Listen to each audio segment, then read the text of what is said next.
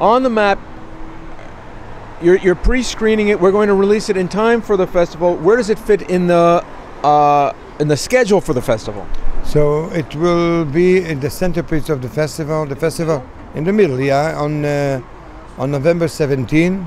We'll have some very interesting guests coming. We'll have uh, Nancy Spielberg. Yes, Nancy Spielberg, his sister. They call her the, his sister. And no, no, Another director. another director sister. Yeah, this. Yeah. and uh, yeah, and uh, and uh, we'll have hopefully um, Tal Brody will be here. Really? Yeah, he's gonna show up. It's awfully big of him.